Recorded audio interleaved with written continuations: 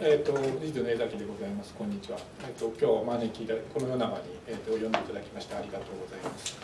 えっ、と今日は私と武部でえっ、と禅についてあのちらっとお話しさせていただきます。でえっ、と本、えー、本命はあの武部なので私はあの導入っていう形でちょっとご紹介をさせていただきます。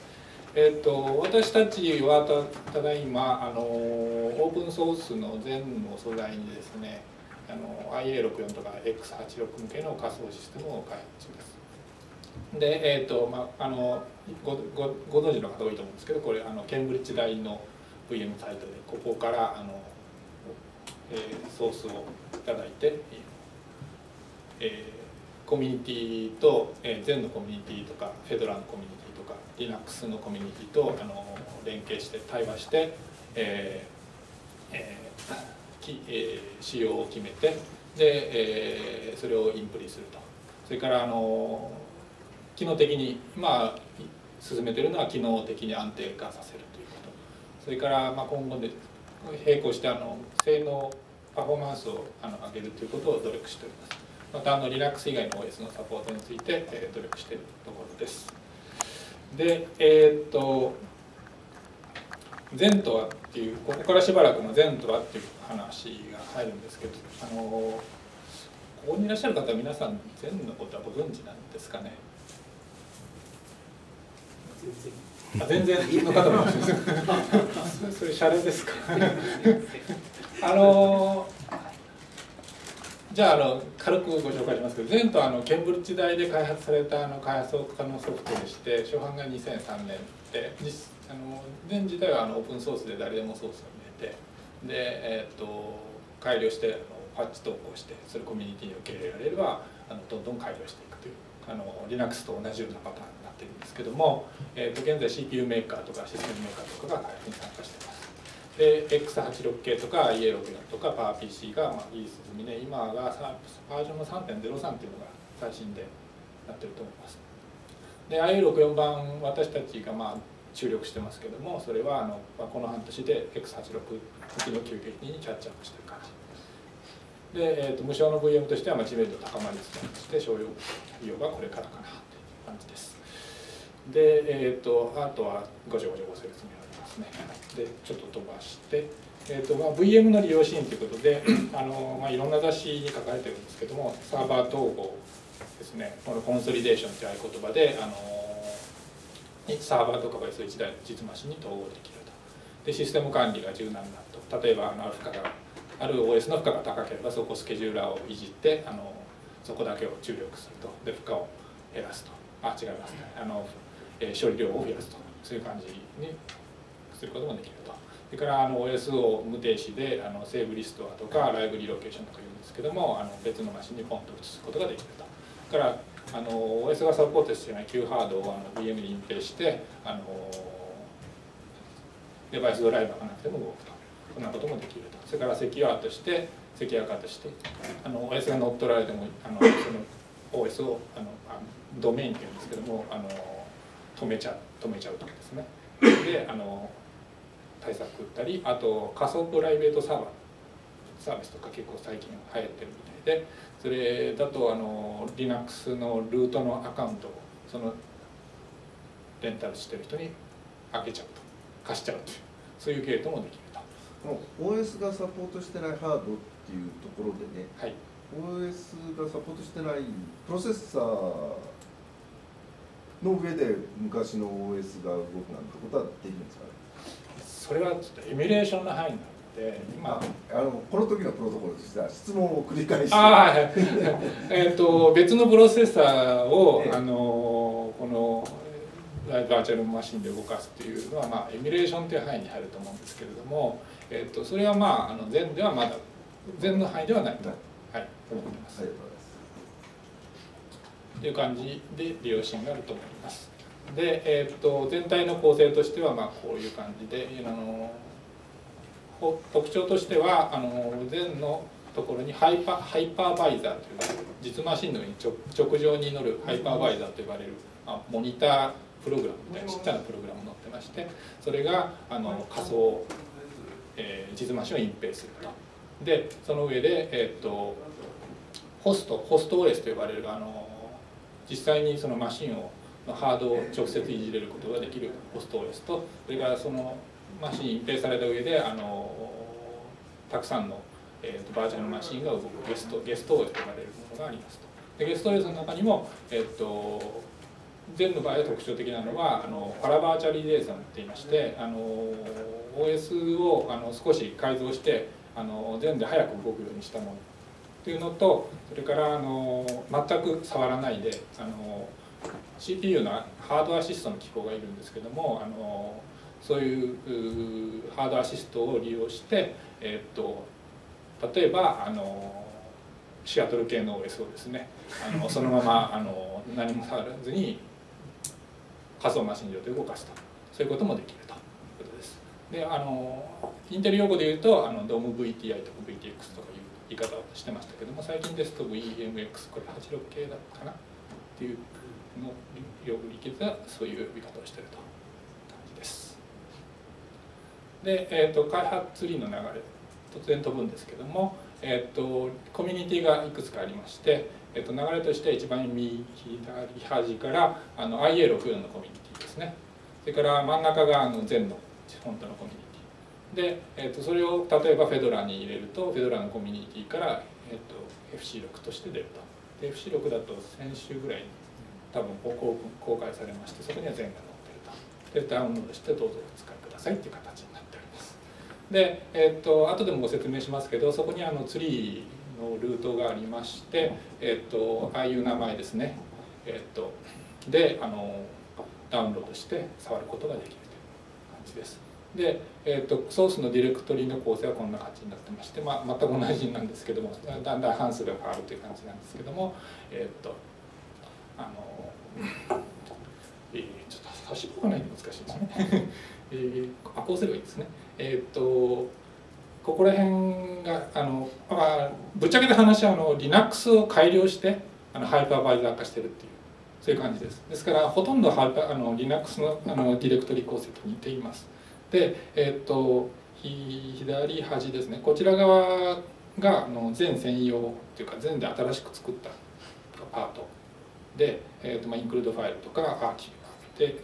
えーと、アーキアーキファイルですね。それから、えーと、コモンファイルドライバーファイルっていうのがあります。で右側はあのあ右側のここら辺はあの Linux を、えーと、マージしてでその、えー、と Linux と違うところっていうのがここに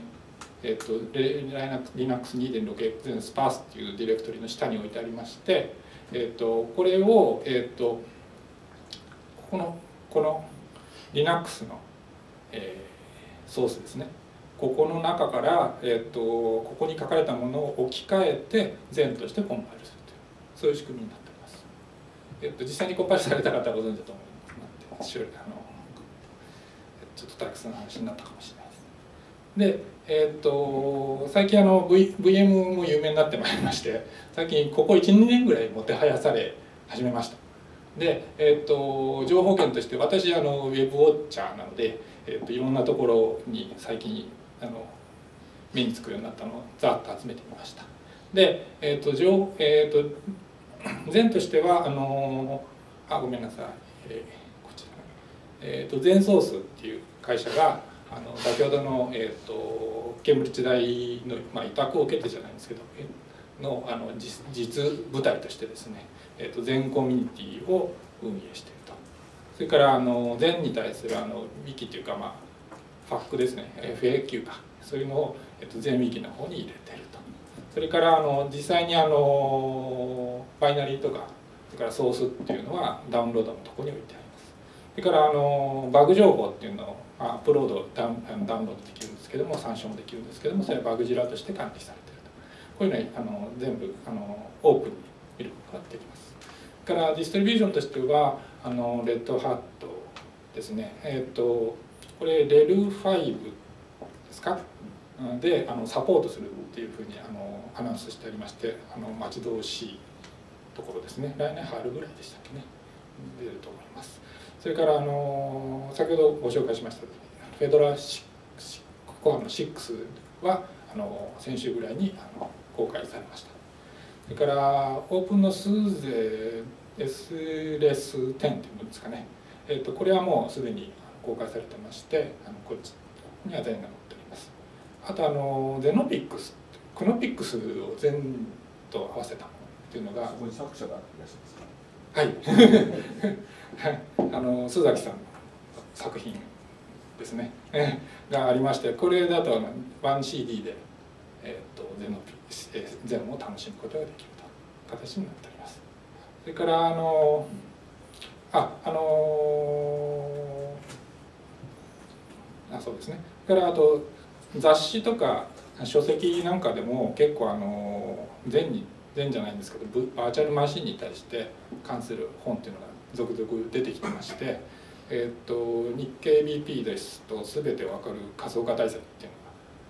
のがもう出てるんですね。2750でしたっけ。であのこれあの連動サイトがありましてあの日経 BP の方に載ってます。それからインプレスの方からもあの仮想化技術完全コレクガイドっていう。これは平さんとか宮原さんとかあと宮本さんとか結構いらっしゃるんですね。宮本さんなんかも書かれてるますけど、えっとえっと、こちらっていう本も出てます。でこの2つはあの全だけじゃなくてあの他の、えっと、VM に関してもあのインプリの仕方とか改造の仕方とかいろんなのが書いてあったと結構あの先駆的な本だと思ってます。それから次にあのオープンソースマガジンっていう雑誌がありましてこちらにあの全の3.0の解読室が連載が続いてましてこちらはあの高橋さんとか山畑さんが携わってらっしゃるんですけどこれ中身はあのソースの解析解析というか解説です。でこれは私たちも実は教科書として使ってまして、えー、と勉強会を開かせていただいております。それから、えーと、ウェブサイトとしては、えーと、有名なのかどうか分かんないですけど全仏さんという方があの全のウィキっていうのを開いてらっしゃいましてこれいろんなあのサイサイトの、えーと訳をですね日本語訳をどんどん載せてらっしゃると。あの貴重なサイト。それから次がでえっとアットマーク IT の方では宮本さんがあの全を使ってみようでこれ去年ぐらいのあの去年の春ぐらいのあの記事というか投稿なんですけどもこれがあの結構早め早いうちに全を紹介してくれた本ですね。それからシンク日経 BP の方には須崎さんがあの全仕組み仮想化の仕組みっていうのを投稿されてたりですねからシンク IT の方ではあのいろんな連載がですね最近出てきてるんですけど、まあ、注目なのはパフォーマンステストとか結構やってくださってましてこれ宮本さんですね。あのここら辺結構参考になるかな。であの趣旨として一般の技術者にも分かりやすい解説がここ最近どんどん出てきてるなっていう印象えーと、これいっぱいあげましたけどあの、まあ、私が知らないところもありあると思いますんであのこんなのもいいのもあるよとかこういういいリンク集があるよっていうのがあればあの後で教えてください。でここあのお名前挙げさせていただいたんですけど今日なんかこういうさ参加していただいた方結構こうなんか善についてこう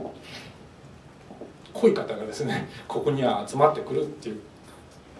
ことを知りましてやはりあのワイラグを全の VM のメッカにしていただきたいな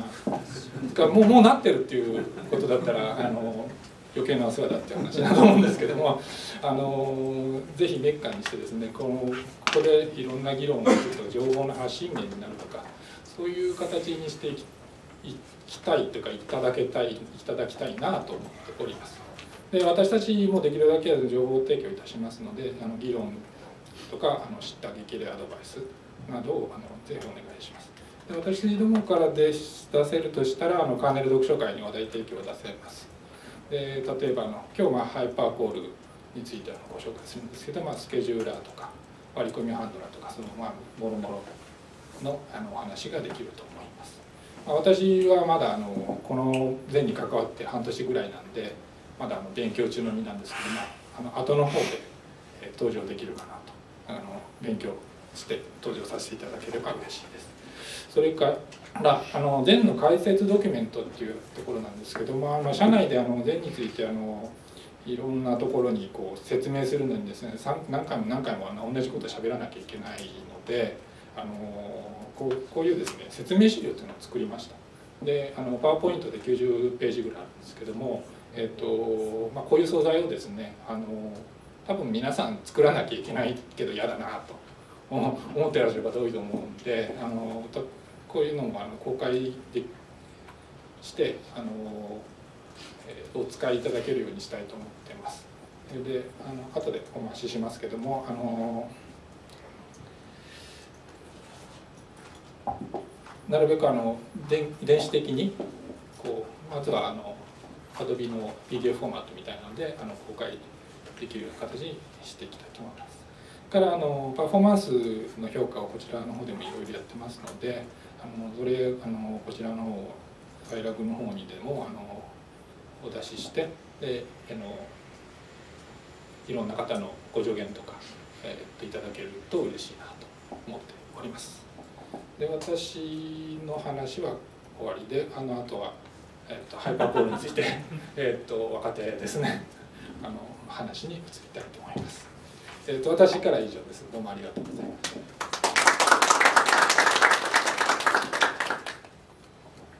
なんか質問とかありますかね？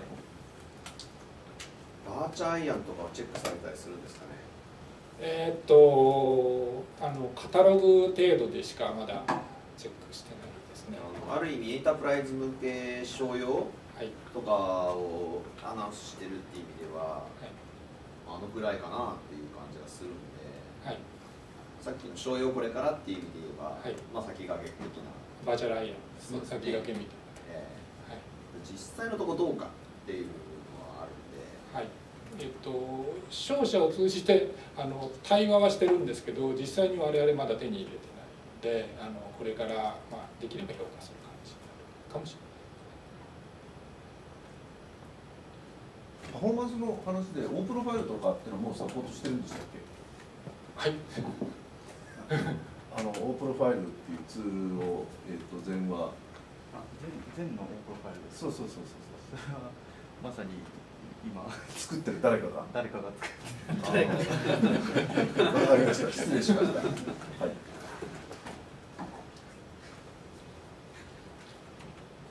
あございますでしょう。はい。じゃあどうもありがとう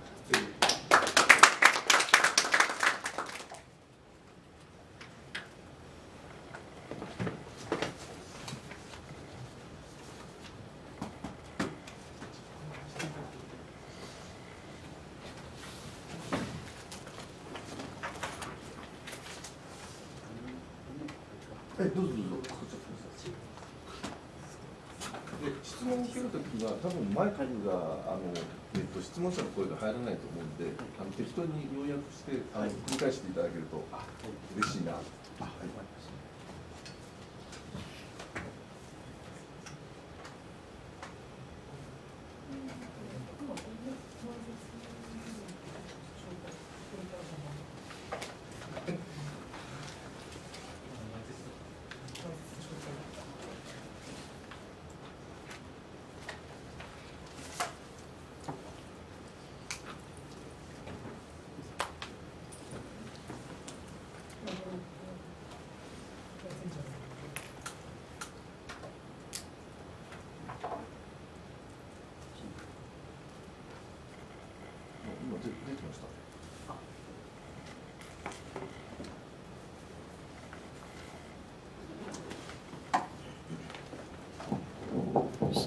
じゃあ始めさせてもらいます。えっとあ武部と言います。よろしくお願いします。今日はあの前の、えー、IA64 のハイパーコールの実装について話させていただきたいと思います。で僕あの実はあの最初に覚えたアーキテクチャが IA64 でして であの実はあんまり X86 とかよく知らなかったりするんであのアセンブラもですねあんまり X86 が読めなかったりとかするんであのあんまりこうじゃあ X86 どうなってんだとかあんまりあの怖いこと言わないでください。じゃああの始めさせていただきます。なぜコピーライトまで一緒に5なん それはちょっと今日急いでコピーしたのでそうなっちゃうまあ始めさせていただきます。でまあ善とはっていう話なんですけど今日はちょっとあの、えー、さっき説明があったんですけども、えー、こうドムユ、えー、ドムユと呼ばれる、えー、カーネルあのについてちょっと話させていただきたいなと思ってます。で、えーえー、なんていうんですかね全全容にちょっと、えー、最適化した、えー、カーネルというか、えー、それの、えー、パラパラゲストって呼ばれてますけど、えー、それが、えー、ハイパーコールを出す時にどんな動きをするかっていう話をさせていただきたいと思います。で、えーと、基本的な、えー、概概念というか、えー、考え方として、えー、の上で動作するカーネルは、えー、ハードウェアを直接操作することができないっていうのがあります。で、えー、特権的な、え操作を行う時は、えーと、ハイパーバイザーにお願いしなきゃいけないっていう、えことがあります。で、まあ、例としてページテーブルを更新したりとかありますけど、えー、普通にあのユーザー空間あのネイティブのマシンで動いてる、えー、Linux カーネルがいて、えー、ユーザープログラムがいた時に、えー、ユーザープログラムがカーネルに何かお願いしたい時とかっていうのは、えー、システムコールを発行しますけど、まあ、それに近い、えー、イメージで持っていただければいいと思います。でハイパーバイザーに、えー、特権的な操作を依頼するインターフェースっていうのが、えー、ハイパーコールというふうに、えー、用意されていますでまあそのさっきの説明の繰り返しなんですけどもハイパーコールとはっていうので、まあ、システムコールのようにこう、えー、カーネルがハイパーバイザーに処理を依頼する仕組みです。で、まあ、例として、まあ、こうゲストドメインをクリエイトしたりとかえー、ゲストドメインの CPU 情報が欲しいなどとか、まあ、いろいろ書いてありますけど、まあえー、ここに来られてる皆さんはさすがにこうシステムコールとかハイパーコールとかご存知かなと思って、えーと、あまり詳しくは説明せずに次に行きたいと思います。で、えーと、代表的なハイパーコールなんですけどどんなのがあるかっていうと、えー、ハイパーバイザー全バージョンとか、まあ、シスコールとかドムコントロールとかメモリーオープンえーと、あとマルマルチコールとかなんていうのもありますけども、えー、このようなのがあります。まあ、簡単に紹介すると、まあ、全バージョンは、えー、全のコンパイルされた時の情報とか、えー、全のチェンジセットあと全がどんな機能を持ってるかっていう、えー、バージョンごとに持ってる機能が違いますので、えーと、その全の持ってる機能などを取得するために使います。あとはシスコントロールはコンえー、全のコンソールを読み出す時とかに使ったりします。えー、ドムコントロールは、えーと、ゲストのゲストドメインのコントロールのために使うんですけど、まあ、クリエイトデストロイとか、えー、ポーズアンポーズなどがあります。えー、あとメモリーオペレーションは、まあ、メモリーの増加減少などのために使ったりとか、えー、あとマルチコールっていう、まあ、特殊なハイパーコールがあるんですけどこれはハイパーコールをまとめて1回で出す時に使用したりします。例えばネットワークの時とかにこう処理をまとめてポンと出したりとかっていうのことに使ったりします。で、えー、ハイパーコールはこの今出てるこのまあ、この代表的なハイパーコールにさらにこうコマンド IO コントロールみたいに、えーと、ある引数を渡してあげると、まあ、まあ、あの数字なんですけど、まあ、1番はこの全バージョンの中のこのコマンド2番は全バージョンの中のまた違ったコマンドっていうふうに、えー、使ったりすることができます。で、まあ、ハイパーコールとシステムコールって似てるなってことで、えーと、皆さんあのあんまり IA64 とかあのマシンを触ったことがないかなと思いましてシステムコールの IA64 の仕組みから、え、入りたいと思います。で、えーまあ、システムコールの場合、え、アプリケーションからカーネル処理を依頼する仕組みとしてソフトウェア割り込みを使っています。で X86 ではイント命令とかシスエンターシスイグット命令とか、まあ、そんなような命令を使ってるんですけど IA64 ではブレイク命令とか EPC 命令とかを使ったりします。で、え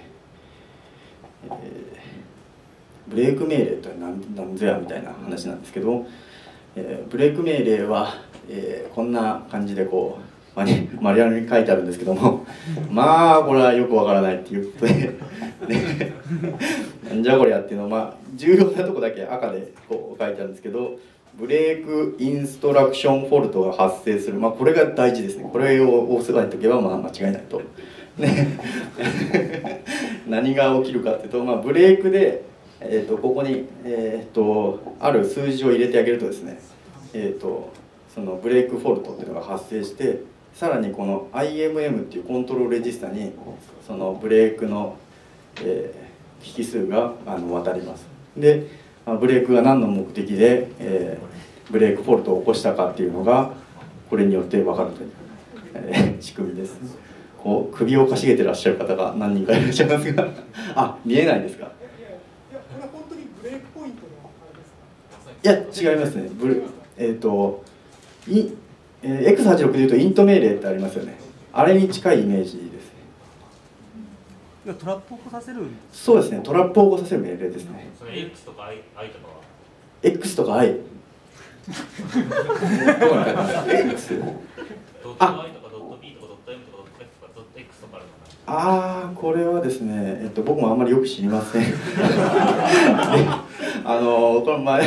なんか逆さアッセンブルとかした時にこう出てきた時に、まあ、マニュアルを見るのでちょっとあんまり分かんないんですけど。ステータスが変わるとかってないですか？ステータスが変わる。あのさっきなんか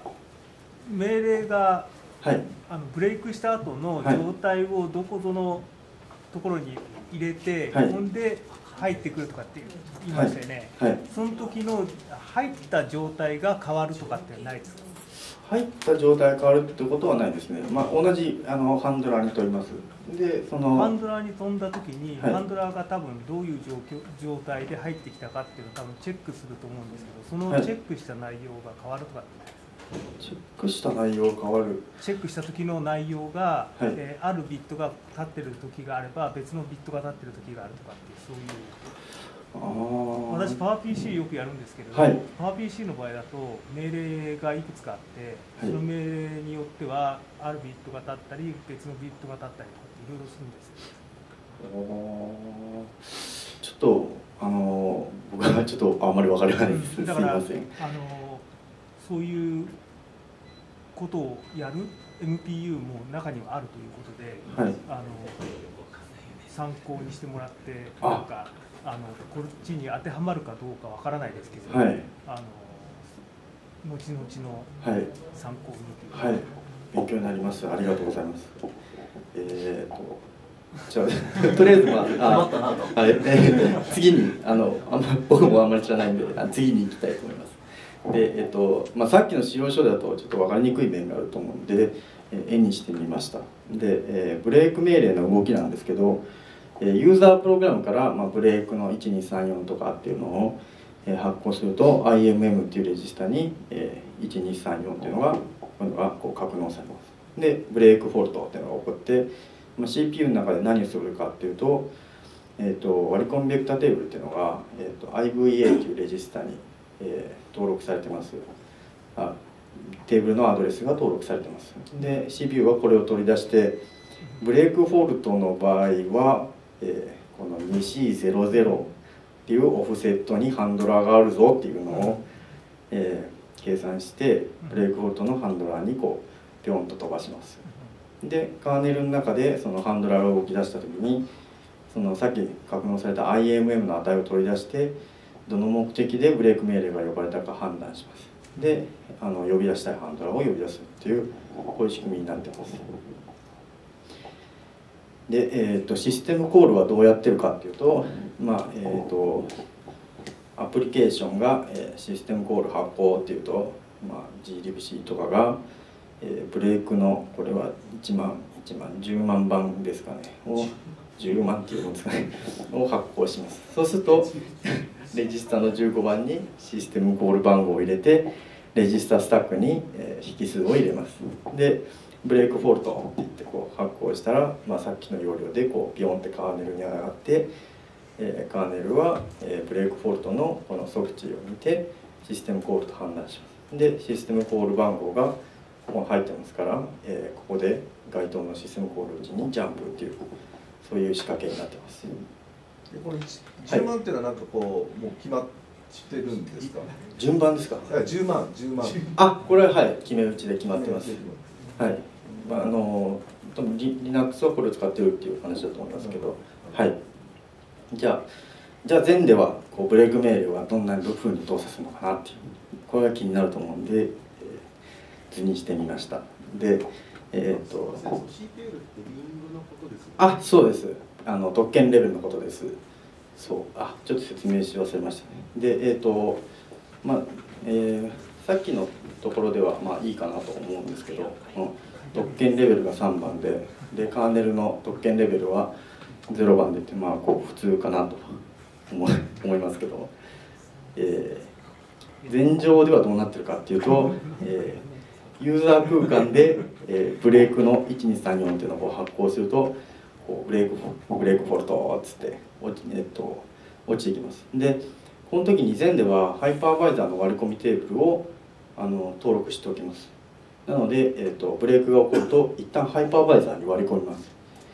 で、えーと、ハイパーバイザーは、えー、ブレイクフォルトの処理を実行するんですけど割り込みの特権レベルがあこれ3じゃん3じゃんみたいな。2じゃないねっていうことで、えー、カーネルのブレイクフォルトをあカーネルへブレイクフォルトをこう反映します。でカーネルは、えーまあ、同じように IMM の値を取り出して、えー、ブレイク命令が呼ばれたかを判断します。でまあ、該当のハンドラーを呼び出すっていうこういう仕組みになってます。でもうそろそろ聞きたいと。もうそろそろハイパーボール説明してくれっていうあの話があのそろそろ出始めるかなっていうので。ハイパーボールはこうなってます。えーとまあ、カーネルから発行するんですけどもカーネルが、えーと、ハイパーコールのパラメータをセットします。で、まあえーと、システムコールと似たような感じで、えー、レジスタ14番にハイパーコール番号を入れてえ15から18にハイパーコールの引数入れて今度はブレイクの1000番とかつってこうブレイクフォルトを起こします。で、まあ、これ同じですね。同じような処理でこうピョって上がってきて、えー、ブレイクフォルトの処理を実行して、えー、RG4 の値からハイパーコールを呼び出すっていう、えー、形になっています。この1000っていうのも決め打ち？決め打ちです。はい。えーすみません、はい、えーと、システムコールかハイパーコールかの、はい、えーと、判断っていうのは CPL だけで決めてるんですか？CPU だけで決めてる。CPU だけ特権レベルだ。あ CP あ CPI L, L, L CPL だけでハイパーコールかシステムコールか。CPL だけでハイパーコールかシステムコールかを決めているか。えっ、ー、とこう CPL だけで決めているか。えっ、ー、とですね。ブレイクの、はい、ブレイクの値もブレイクの番号も違うね。はい。ブレイクの番号も違うんですけどえっ、ー、とハイパーバイザーはそのシステムコールかハイパーコールか判断する必要はなくてえっ、ー、とまあ、カーネルから落ちてきてなかったら全部あの上に反映しようと。そういう。カーネルから落ちてきてないっていうことは、えーと、と特権レベルを見ている。そうですね。CPL だけで判断してますね。でえっ、ー、とデバッグ目的の、えーと、ブレイクっていうのもあるんですよね。でそれはえっ、ー、と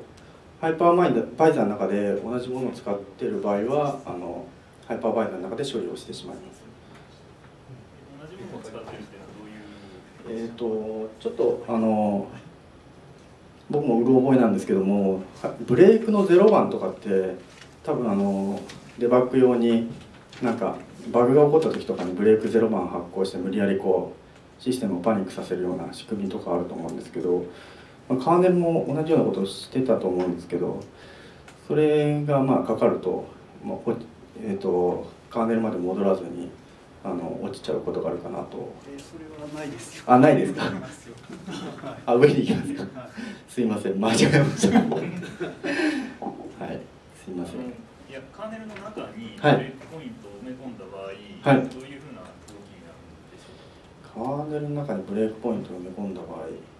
CPL だけ見てると特権レベルだけ見てると、はい、あのブレイクポイントブレイクが発生したときに、はい、えーと、ハイパーコールと間違えて処理してしまうかという話なんですけど、えっ、ー、とハイパーコールは、えーと、1000番で決まっているので1000番じゃない時はハイパーコールに飛ばないです。えということは、C えーと、特権レベルだけじゃなくて引数の番号も見ている。あはい見てます。はい。すみません。これでカーネルは？はい。2, 2です。ね。1じゃない。です。えっとここは、えっと、IA64 だけ特殊になってます。まあ IA64 だけっていうか、まあ、各アーキテクチャで違うんですけど、えっと X86 の場合はこの全で動くカーネルは CPL は1で動いてます。でえっと X8664 は、えー、確か3で動いてたような気がするんですけど、はい、確かそうでしたよね。なんか。ちょっとうろ覚えですがはい。これは。何か意味があるんですか？2にしてる。2にしてる意味があるかっていうのは、まあ、まさに。いやあのこれ作った人の趣味もあると思うんですけど。えっとまああのなんかえっとゲストドメインと普通、えっと、ホストドメインっていうのがありましてでホストドメインをなんか、えっと、もっと普通のゲストよりも特権的な操作をさせたいっていう時が今後生まれるんじゃないかみたいなことがこれでいうとこのこのカーネルって書いてるのは、はい、ドメインゼロでも U でも OK あゼロでも U でも OK です、はい、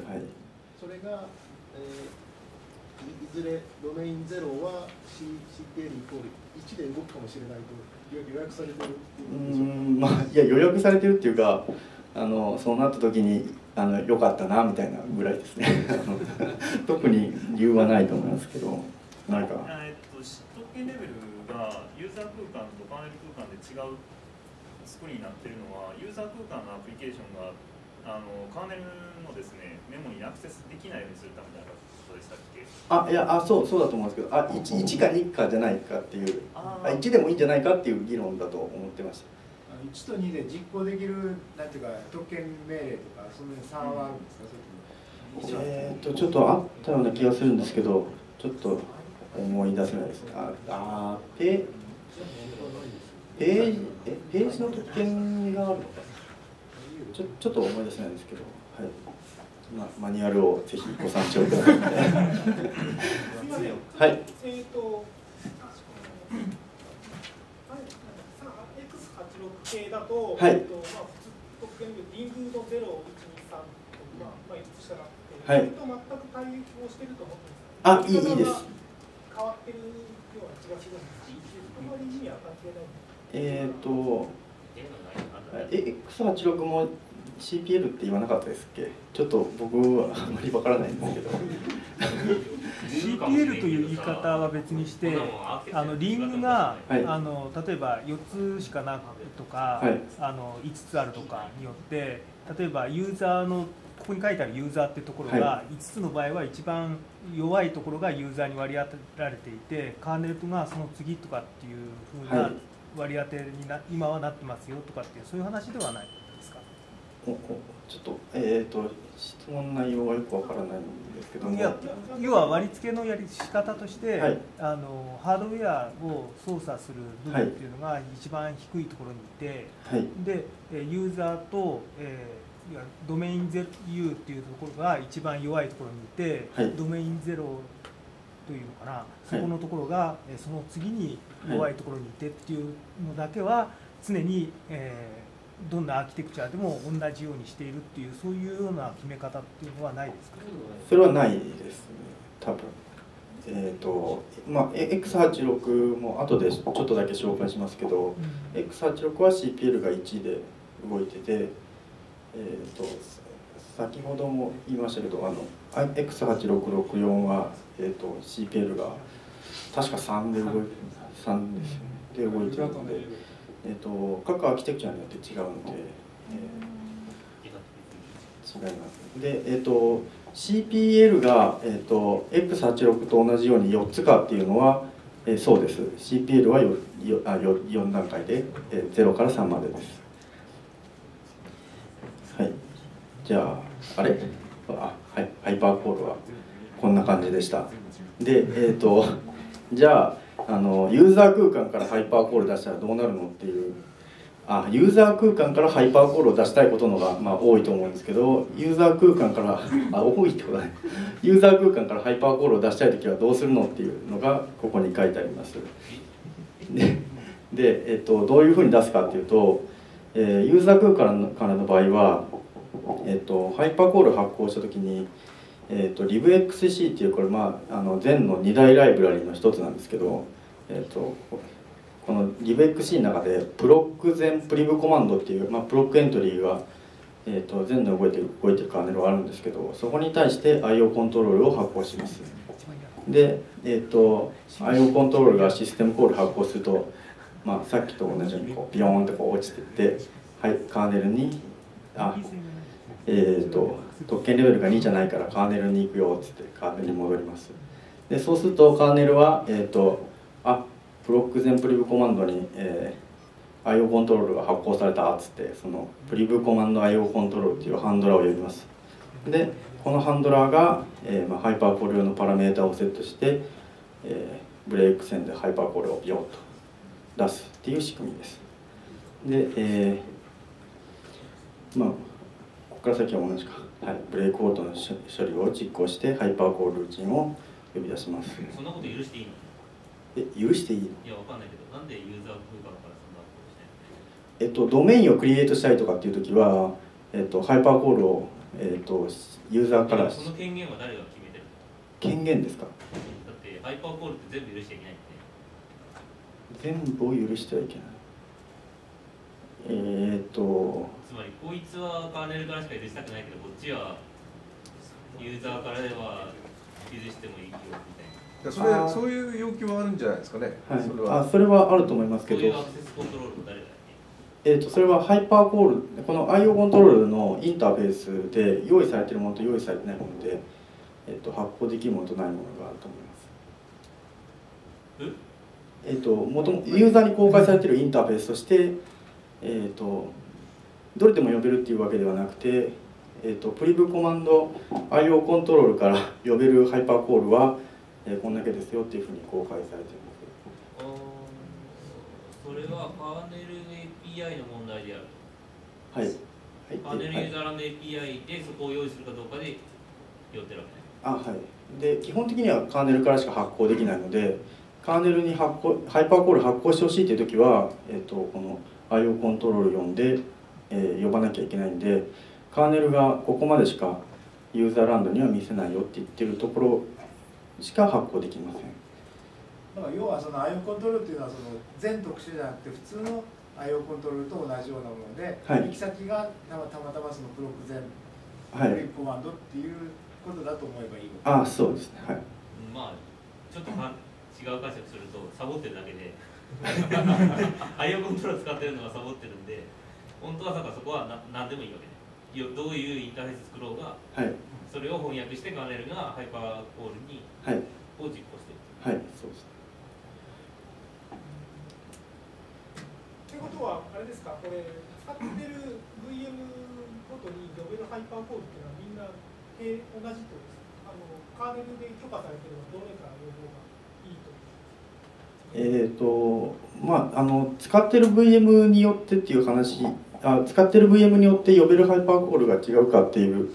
話なんですけども、えー、それはあのこうハイパーコールの実装によるので、えー、何とも言えないところなんですが、えーと、前のバージョンでも、えーと、と呼べるハイパーコールっていうのが、えー、多少違ったりします。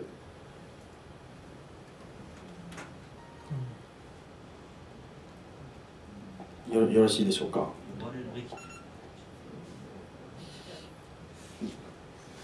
じゃあ、えっ、ー、と、ハイパーコールの実装ということで、えっ、ー、と、基本的なハイパーコールの出し方っていうのを今日はあの覚えていってもらって 家に帰ったらですねあのぜひハイパーコールのパッチを書いてですねあのイアンさんとかケアさんにですねほらこんなハイパーコールが呼べるよっつってこうパッチを投げてもらうとねあのコミコミュニティがあのなんじゃこりゃとか喜んだりしてくれるのであのぜひ書いてください。でえっ、ー、とまあさっきも言いましたけど LiveXC の中でえ、ー、とこんな大作法でハイパーコールを呼んでますよっていう、えー、のがあります。で、えー、当然このライブラリ使わなくても、えーと、ハイパーコール出せるので、まあ、ライブラリから作りたいよっていう人はこうこんな感じでやってくださいっていうので、えーあ違うかな、まあえーと、XC インターフェースオープンっていうので、えーと、LibXC はこれを、えー、オープンしてます。このプリプリブコマンドっていうの。ををオープンしてます。でこれをオープンした後 do 全ハイパーコールっていう関数を読んで、うんと、ここで IO コントロールを出します。で終わったら XC インターフェースクローズで、えー、このプリブコマンドをクローズしてあります。でえっ、ー、とハイパーコールの実装なんですけど、まあ、ささっきもこう言いましたけどなんかこうここら辺にえっ、ー、とパラメータセットしてここでブレイク命令でビヨンって飛ぶよっていう。あこれプリブコマンド IO コントロールっていう、えー、こうカーネルの中のハンドラーです。で、えーまあ、ここでビヨンとハイパーコールを出します。で、まあ、さっき、えーと、これはご参考なんですけど X8632 はこんなふうになってますよっていうので、えーと、と X8632 はちょっと賢くてですねシステムコール発行するとそのままカーネルに来てくれるんです。これはなぜかっていうと,、えーと、フォンテキストスイッチの際に割り込みテーブルをわざわざ書き換えてるんですね。でこの、まあ、セットイント80ダイレクトトラップっていう関数を見ていただければ、えー、いいかなと思いますけど。で飛び先をカーネルの中に変えてるのでシステムコール発行するとここにピョンと飛んできます。でえっ、ー、とまあこう同じように、えーと、IO コントロールが呼ばれてえーと、X86 の場合は、えー、イント82っていう命令をビヨンと出して、えー、ハイパーコールを、えー、呼び出します。えー、で、まあ、ハイパーコールと私っていうこうお題で書いてきたんですけども、えーと、私が出会ったバグっていうので、えーと、フェドラのあの IA64 のデバッグを僕よくするんですけど、えーと、カーネルでドメインが動かないよとなんかすぐあのこうハングしちゃうよみたいな あドメイン U が、はい、動かないよってでコミュニティではそんなにこう全の IA64 のコミュニティではそんな問題起きてないのになんでだぞと思って調べたらですねなんかネットバックとかネットフロントっていう、えーとまあ、全の、えーと、その特殊なドライバーなんですけどネットワークをやる特殊なドライバーなんですけどもそれをモジュール化すると起動できないと。でえーと、ネットバックっていうそのモジュールの中でなんかコピーフロムゲストって言って、えーと、これはコピーフロムユーザーと言ってるんですけど、えー、カーネルからハイパーバイザーに、えー、引数をコピーする関数なんですけど、えー、そこがパニックしてるねっていう話になりました。であそういえばなんか神様がコピーフロムユーザー壊れてるなとか言ってたような気がするな。こうこう夢で言ってたようなことを思い出しました。であこれは直さないとで、まあ、直さないとと思ってあの、まあ、ちょこちょこなんかやってたんですけど、えー、なんか、えー、あこれまあこれバグバグがちゃんと書いてあるのを説明するの忘れました。えっとか、えー、まあこうどどんなバグかっていう話なんですけどえー、各ハイパーコール用のパラメータを保存する構造体を引数にセットして、えー、ハイパーコール発行する際にカーネルの仮想アドレスをセットして、ハイパーコール発行してました。で、えー、ブレイク命令をトラップして引数取り出す時にこのコピーフロムゲストっていうのをやってたんですけど、えーと、この仮想アドレスと,、えーと、マシマシンアドレスっていうんですけどこの仮想アドレスっていうのは、えーとまあ、ゲストのカーネルが使ってる普通の仮想アドレスで、えー、ゲストの仮想あゲストにはゲストカーネルには嘘物理アドレスっていうのが見えててその嘘物理アドレスを、えー、ハイパーバイザーは、えー、マシンアドレスっていう本当のに変換するっていう処理をするんですけど、えーとこのカーネルの仮想アドレスからマシンアドレスに変換するときに TLB に、まあ、エントリーがある場合は、まあ、CPU を勝手にこうピヨって変換してやってくれますけどもない場合は、えーと、コピーフロムユーゲストが失敗しちゃうっていう問題でした。でハイパーコールが失敗するとネットバックのモジュールの中でバグオンが書いてあって失敗したらバグオンしなさいっていうことでパニックするっていうことでえっ、ー、とまあ基本的に IA64 のハイパーバイザーの実装ではえーと、ゲストのバーチャルアドレスは、えーゲストのフィジカルアドレスに変換してそれをまあハイパーバイザーが変換してあげるっていうことをするんですけど、まあ、ここからここにビヨって変換しようとしても、ハイパーバイザーにこのアドレスを渡されてもちょっと分かんないみたいなところがあります。でえっ、ー、とこれどうやって直しましょうっていう話で、えー、とパワー PC でも同じような問題があってパワー PC は全コムっていう実装を考えてこの問題を解決したらしいとでああ全コム使わないとダメだと思ってたらフランスのある方がなんかひょこひょこと作り始めてくれてですね。で、まあ、できちゃったわけなんですけども。で、えーと、全コムの、えー、実装はどんな感じなのかっていうとまあこうハイパーコールのパラメータを引数にセットするときに全コムクリエイトという関数を呼んでで引数のメモリを先にゲストフィジカルに変換してあげますと。でハイパーコールを発行しますと。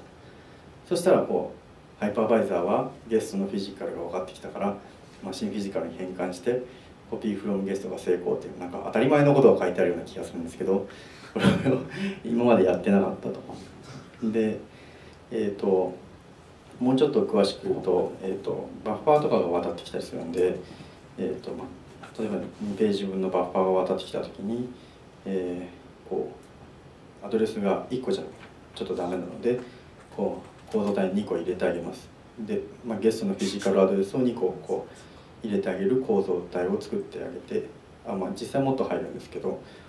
でこの構造体を渡そうとする時に危ないこれはこれがまた仮想アドレスだっていう話でこれもフィジ あのフィジカルゲストフィジカルに直してあげなきゃいけないっていうのでここでまあ変換してあげます。でこれ入れたやつをハイパーコールしてあげると、えー、まずこのやつをマシンアドレスに直してあげてで、えー、構造体の中身を、えー、いちいちこう一個一個直してあげてあ目的のメモリにたどり着けたっていうそういう実装です。で、えーまあえーと、サンプルコードなんですけどどんな感じでやってるかっていうと,、えーと、ハイパーコールが来た時に、えー、コピーフロムユーザーでこれは、えーと、ユーザーのユーザー空間の、えー、プログラムから引数をもらうカーネルの中にもらうことをします。で、えー、全コムクリエイトっていうので、えー、ここで、えー、とさっきの、え、構造体をアロックしてその中にえゲストフィジカルの、えアドレスを詰め込んでいきます。で、えハイパーコールして、え帰ってきたら、えコピーフロムユーザーで今度ユーザー空間に戻り値を戻してあげます。で全コムフリーって言って、え先ほどここでアロックした、え全コム用の構造体をフリーしてあげるっていう仕組みになってます。で、まあ、ハイパーコールの思い出っていうのでまたかみたいな目で見ないでください。でえっ、ー、と僕とハイパーボールの思い出なんですけどもある人がですねえ、ー、と前には手動でゲストのダンプを取る機能がないよと。で、えーと、普通の X86 とかのマシンではなんか NMI ボタンとか押したりすると、まあ、ゲあのカーネのダンプが取れるんですけどそれが前はもうやることができないと。でそれ作ってよみたいな感じで言われたのでえっ、ー、とまあ、前リーっていうその全用のデーモンがいるんですけどそいつは、えーと、ゲストがパニックすると自動でダンプを取りますと。で、まあ、パニックした時はいいけどなんかループハングしなんかループしちゃったりとかしてあのハングして反応がなくなったとかっていう時は手動で取らなきゃいけないのでこの機能は必要だと。で、えー、じゃあハングしたらえっ、ー、とこうパニックさせちゃったらいいじゃないっていうゲストを手動でパニックさせちゃったら、えーと、全 D の自動ダンプ機能が動いてゲストのダンプが取れますねっていう、えー、そういう実装のあ考えのもとに、えーと、ハイパーコールを作りましょうということで、えーと、XM ダンプコマンドっていうのを作ろうとしまいました。したんですけど、まあ、これは却下されましたが最終的には。でまああのどんな仕様かっていうと、まあ、全 D の自動ダンプ機能をオンにしてあげますと。でドメインをクリエイトして XM ダンプドム U ってやったらドメインがパニックするよと。で 全 D がドム U のダンプを採取できるからこれでダンプが取れるじゃないって言ったらお前のコマンドは XM ダンプじゃなくて XM クラッシュだみたいな。でまあまあそうだけどみたいな。であのまあさっきあの全コム作ったフランスの方はですねでも僕はいいと思うよみたいな 彼はいい人ですね。でまあそうやって賛成してくれたんですけど、まあ、そのコマンドを作る、えー、作った時の僕のこの流れが書いてあるんですけど、えー、まああんまり使わないコマンドだしドムゼロオプスに入れるのが簡単そうだなと思って。でドムゼロオプスっていうのはさっき紹介したドムドムコントロールっていうのに最近はなったんですけどあの当時はドムゼロオプスって呼ばれてました。で、えー、まあ XM ポーズっていうドメインをこう停止させるコマンドなんですけどえっ、ー、とまあ引数はドメインだけだしドメインを停止するのとドメインをダンプするのと似てるし、まあ、ちょっと真似してみようっていうのであの真似しました。でえっ、ー、とまあパッチですね。でパッチを見てみようと。でえっ、ー、とちょっと見にくいんですけど、えー、とこれまあパッチのえー、一部なんですけど、まあ、僕のパッチはあの公開されてるんで、まあ後で見てくださいっていうのでどんな要点だけここに載せました。で、えーと、XM に、えーと、コマンドをこう追加するときに、えーと、作法としてここと,、えー、とここに書かなきゃいけないんですけどそのコマンド名を。で呼ぶ関数名ここに書いてあるとその XM っていうとここのコマンドが呼ばれます。でまあ、アーギュメントのチェックとか入って、えーと、前輪のところの関数を呼ぶようになります。で、えーまあ、ここも XM コンポーズの真似なんですけど、えーと、先にここにこうピヨってきて、えーまあ、この中のドメインダンプっていうこここら辺が呼ばれてでドメインダンプがあってででこう 呼ばれてってで、えーとまあ、最終的にここが C 言語で書かれた Python ライブラリの入り口なんですけどあ入り口っていうか出口っていうので、えー、xc.domainDump っていうのを、えー、ここで呼んであげます。で、まあ、これも完全に XM ポーズの真似なんですけど、えー、こう Python, Python のこうインターフェースとしてなんか、えー、書かなきゃいけないっていうのがあってももうもう一個書かなきゃいけないんですけどえーとまあ、こんな感じで書いてあげると,、えーと、Python の中の、えー、関数からこの、えー、libxc の中の、えーと、C, C 言語の関数が呼ばれます。で C 言語の中の関数ではこう、えー、ドムドムゼロオプス呼んでるんでその、えー、ドムオプっていうのが、まあ、呼ばれるようになってます。で、えーと、まだまだこうエクセンポーズの真似なんですけど、えーとこう構造体を、まあ、あらかじめ定義しておくのとか、まあ、やっとかないといけません。で、まあ、ここに、えー、あ違う、えーと、ドムゼロオプスの構造体の中にそのダンプ用の構造体を定義してでダンプ用の構造体は、えーと、ドメイン ID 取ってくるドメイン構造体とかを用意してえ、ー、とまあドムゼロダンプドメインのえ、ー、となんだろう番ケース分ので使う番号なんですけど、まあ、51だよみたいな感じで定義してあります。でえっ、ー、とこの中で UXC の際最後かなのところですね。えっ、ー、とまあその引数をこうピヨピヨってこう入れてあげてですね。でドームゼロオプスでえっ、ー、とまあどうやってハイパーコールが呼ばれるかっていうのは、まあえーと、さっきも説明したんですけどもこうブレイクがこうバーッと起きてここにこう来ると。でまあこれでおしまいで。であの最終的にこうドムゼロオプスはどうが呼ばれて、まあ、僕が書いたとはまあここだけなんですけど。ここで、えー、アンダーバーアンダーバー domain crash っていうのが呼ばれてあドメインがクラッシュしたっていう形ですね、まあ、その引数からこうドメイン構造体をこうドメイン ID がこうドメイン構造体を呼びだあの取得して、まあ、クラッシュさせるドメインをここで指定してあげると。そんな形です。はい。Python のところっていうのは一体何何者なんですか？えっとですね、えっと、前はそのインターフェースユーザーに見せてるインインターフェースとして、えっと、XM っていうコマンドを用意してます、うん、で XM っていうコマンドが Python で書かれていて、うん、さらにその XM っていうコマンドを受け付けるデーモンがいてそのデーモンも Python で書かれてます、うん、で、まあ、最終的に発行するのはその libxc っていうライブラリーなんですけど、まあ、そことのインターフェースとかがあってえー、まあ、そんな感じで作られてます。でまあそのハイパーコール作る時に一番簡単なのは XM ポーズだよと。で、まあ、ブレイク命令が発行されてあかんまあ、簡単にこんな簡単にこうハイパーコール作れちゃったみたいな。こうコマ XM のコマンドが作れちゃったっていうんで。え作ってみた感想はもう本当作るのは簡単でした。もう本当に2時間ぐらいでできました本当。で、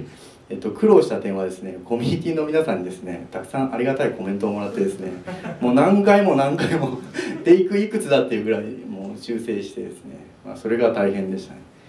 でまあでも作ってみて、まあ、最終的にはこうえー、イアンさんとかケアさんたちと会った時にですねこう話すネタになってとてもよく良かったなと、そういう感じです。でまああの今日でもあの IPF のですねアーキテクチャを皆さんも理解してしまったと思うんですね、ぜひもうクリスマスも近いんであのお父さんにですねもう IPF 買ってって家に帰ったらお願いするとか靴下に入れるとかしてねお願いしていただきたいと思います。で、まあ、 Welcome to Xen Community っていうのは、まあ、全の皆さんこう仲良しだよと、はい、以上で終わります、ね、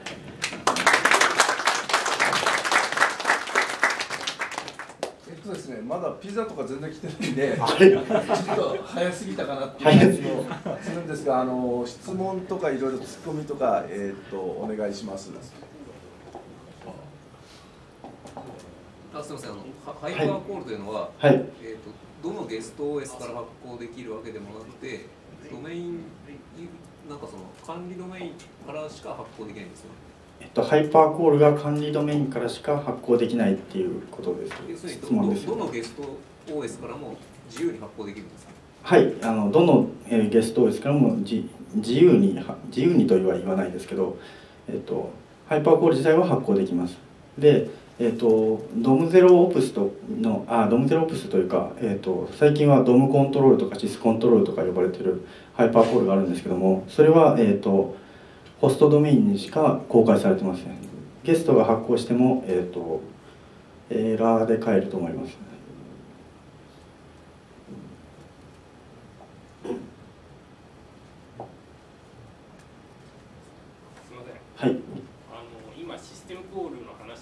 はい、ブレイクの話をされたと思うんですけれども、はい、I64 って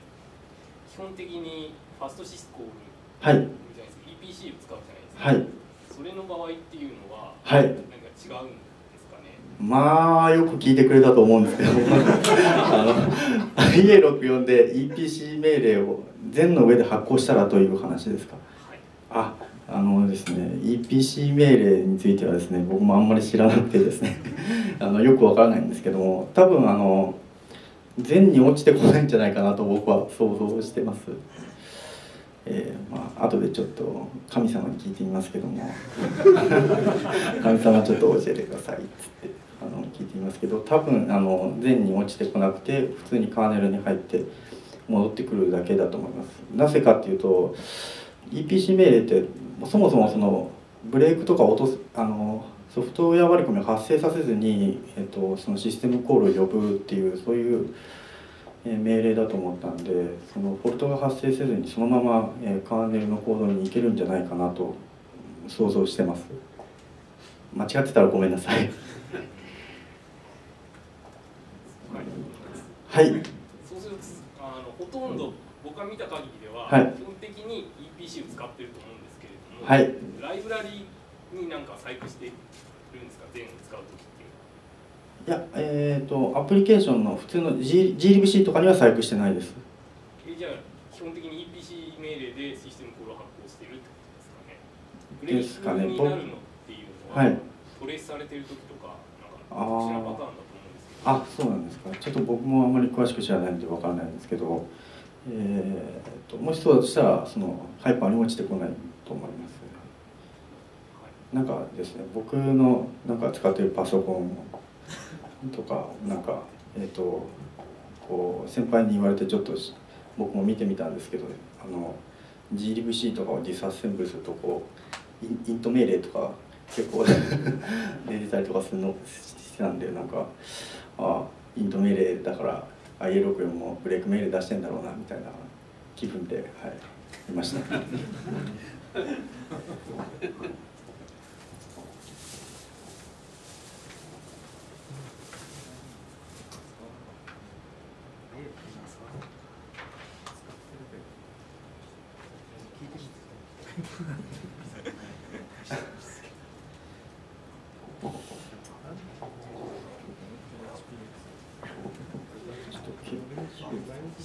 はい。隣の方誰ですか？隣の方はですね、僕のとてもあの大好きなんですね。あのすごく優しいえ、ー、と全 IA64 の開発者の方なんですけども、えー、まああのすごくあの活躍されている方なんで、こうコミュニティをググるとまあこの人かなみたいなのがそう 想像できるかな。あのそういう人です。あのなんか個人情報保護法とかあるからなんか 思わず目線を入れてしまったんですけどなんか後で怒られるかなとか思って、はい、でもすごくあの優しくていい人です。あの分かんないとすぐ教えてくれたりとかします。今全のコミュニティって大体ざっくりで何人ぐらいいるっていう感じなんですか？全のコミュニティですか？全のコミュニティ。いや全のコミュニティって何人ぐらいですかね。つかないですけど文脈のことだと IA64 はさっきさっきっていうか ちらっとお見せした写真の数ちなみに全サミットにですね参加してた人が、えー、確か120人ぐらいとかそんな感じだったと思いますけど、はい、そんな感じです。すみません。はい。今って、はい、あの IA64 の全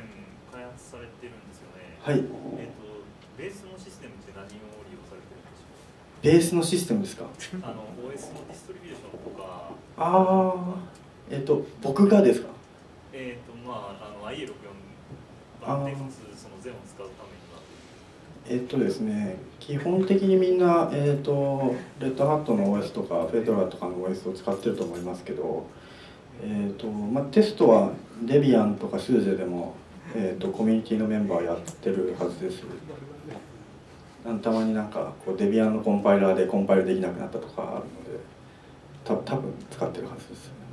あのフェドラって今あの IE64 対応のカーネルとかって、えー、公式にはないと思うんですけどはい。えー、どこかで手に入れるんですよ。えっとですね それはですね LinuxIA64 っていうメーリングリリストを見るとですねえっ、とこう SGI のあ SGI って言っちゃった、S まあ、某会社がですね ISO を配布しててですね、えーと、そこからダウンロードできるんじゃないかなと思います。はい。えそれはじゃあフェドラのプロジェクトじゃなくてその SGI の人がやってる？いやちょっと僕もあの 僕本当に詳しいことは知らないんですけどボランティアでやってるのかうん何のかよくわからないですけどもなんか、えー、公開してますね。でフェドラのプロジェクト自体はなんか、えー、こう出してるのは IA64 はないです。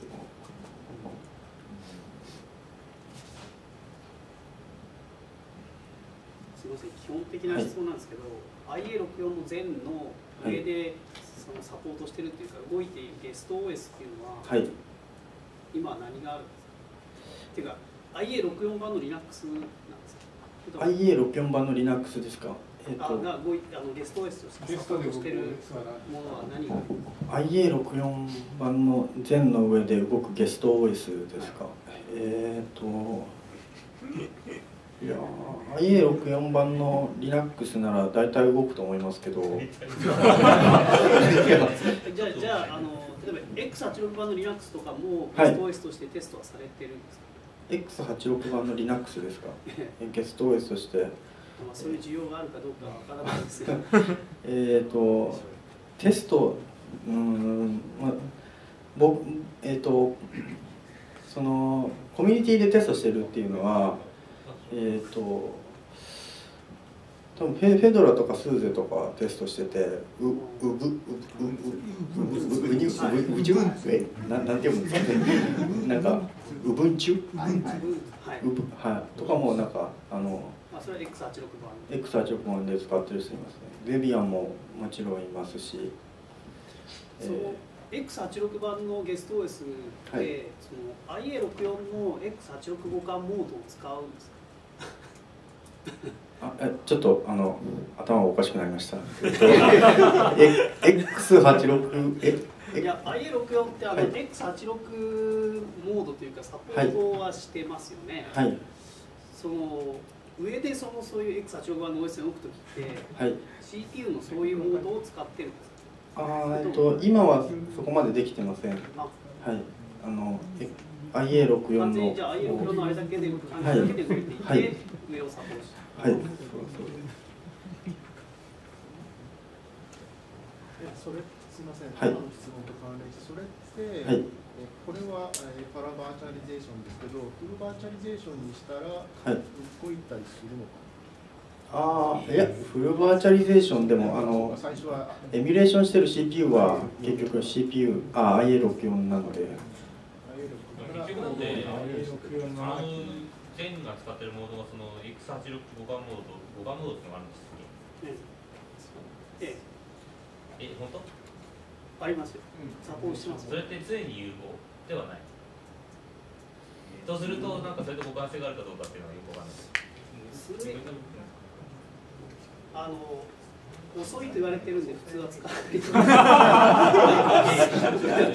やそれが遅いんであの64拡張が流行ってるっていう話が。これパフォーマンスはどんな感じなんですかね？パフォーマンスですか？えっ、ー、と IA64 の。そうそうそう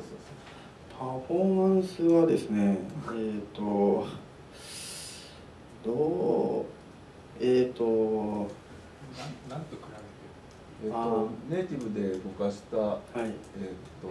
IA64 のリラックスと、はい、ゲスト OS として動かした IA64 のえっ、と OS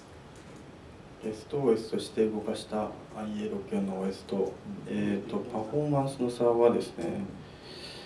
えっ、ー、とちょっと、え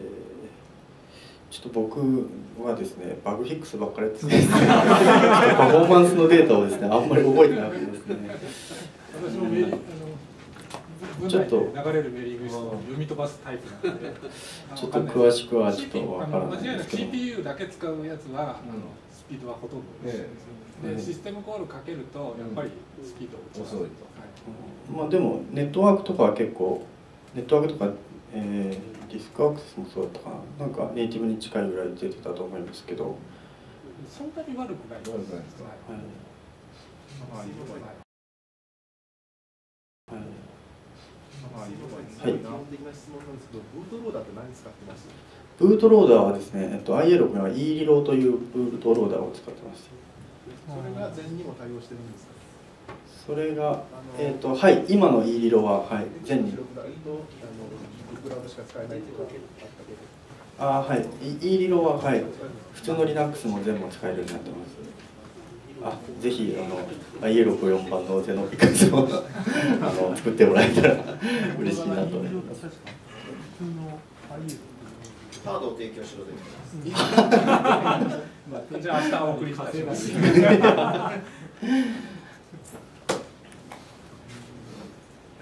あすみませんあの、はい、32ビットの版の話なんなっちゃうんですけど、はい、さっきあの、えーと、32ビット版だと、はい、ハイパーコールではなくて、カーネルあハイパーバイザー通さないで直接カーネルが呼べるのは割り込みベクターがかけられてるって話だったんですけど。あ、まあ、割り込みテーブルを書き換えてます。ええ、あのなっていうのはユーザーモードで動くときは、はい、えーと、とそのカーネルゲスト OS のカーネルの割り込みベクターの選択を指すようになっていて、はい、カーネルに移った瞬間にハイパーバイザーの割り込みテーブルに書き換えるからという感じになっている。いや今の実装では、えっとそのえー、全自体はその仮想 CPU っていうのをスケジューリングするんですけどその仮想 CPU の、えーと、が動いた時に、えーと、そのコンテキストスイッチとかをするんですけどその延長で、えーとその前からそのその辺であの割り込みテーブルを書き換えるっていうことをしているので、えっと、上で動いてるアプリが、えー、カーネルかユーザーかというのを判断せずに書き換えてると思います。そうするとカーネルは、えーと、イントではなくて別の仕組みです。ハイパーバイザーに飛んでいくから大丈夫。カーネルがえっと、具体的にはその、はい、ユーザーレベルからイント命令発行すると、はい、カーネルに飛んでいくわけですけど、はい、直接、カーネルがカーネルはハイパーバイザーを呼び出すためにさらに別のあのイントじゃなくて別の仕組みがあるんであいやえっ、ー、とイントで渡してる引数が違います。あのシステムコールはイント80ですけどえっ、ー、とハイパーコールはイント82っていうのを使ってます。あ16進ですけどはい、ななはい、82っていうんですかね82使ってますでこうおそのえっ、ー、と奇数が違うんで呼ばれるハンドラーが違うっていう形です。えっと、割り込み、はい、要するにあの割り込みベクターテーブル自身を,、えー、を置き換えるんじゃなくて割り込みベクターテーブルのエントリーを書き換えるというそうですねシステムコールのところだけを書き換えてますで割り込みベクターテーブル自身は全のそうですはい。でえっ、ー、とまあ、そのどこのアドレス設定したいかっていうのもハイパーコールで、えっと、あらかじめ教えてあります。でそれであの書き換えることができるという形で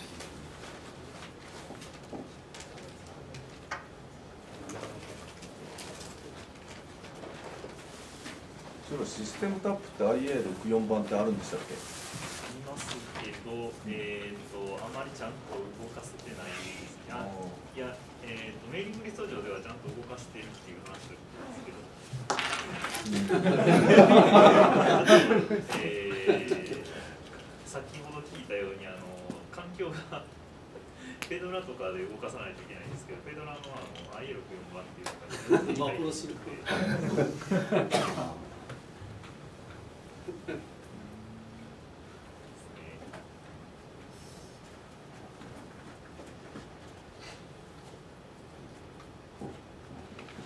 あの全の本体はなんかさっき Linux の改造をして本体が作られているって言ったんですけど、ホスト OS も Linux なんですか？はい。まあ、ほとんどストって言ったところじゃない？で、ゲスト OS は Linux 以外も動いてるえっ、ー、と、アイエル君の場合は一応 Linux は間違いなく言いますけど、他の OS に今努力中。例えばどんなのが努力中はいあのシアトル系の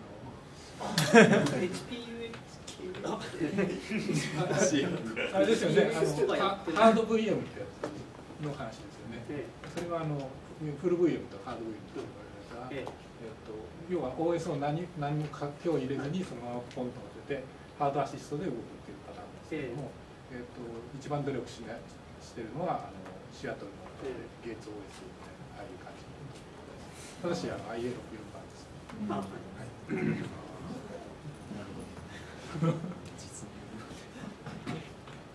えっとですね、あの一応ピザも来たんですよ。とい。うことで、えーと、一度ここであの終わりにしまして、えピザを食べながらまた、え情報交換をしてい。ただければなと思い。ます。で一応あの1000円ですので、えーと、お釣りのない。ようにご用意い。ただければと思い。ます。今日は、はい。えー、竹野さんとそれから遠藤さんどうもありがとうございました。